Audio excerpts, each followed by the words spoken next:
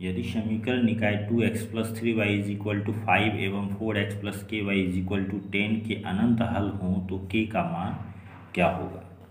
हमें यहाँ समीकरण निकाय है two x plus three y is equal to five हम इसे a x plus b y plus c is equal to zero के रूप में कन्वर्ट कर देते हैं।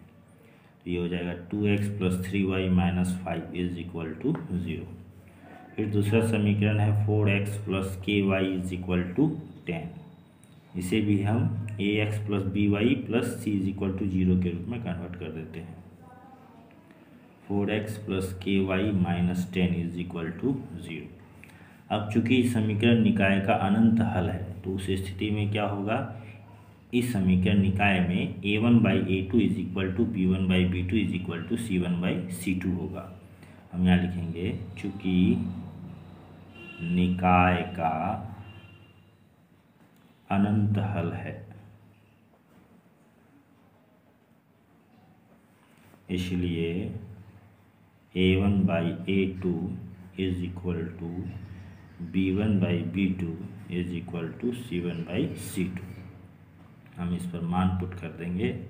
ए वन का वैल्यू टू ए टू का वैल्यू फोर बी वन का वैल्यू थ्री बी टू का वैल्यू के सी वन का value minus five c two का वैल्यू माइनस टेन अब यहाँ पर के का वैल्यू प्राप्त करने के लिए हम या तो इस समीकरण का सहारा लेते हैं या इस समीकरण का सहारा लेते हैं। इन दोनों में से किसी एक समीकरण की सहायता से हम के का मान बता देंगे। दोनों ही समीकरणों में के का मान हमें समान ही आएगा।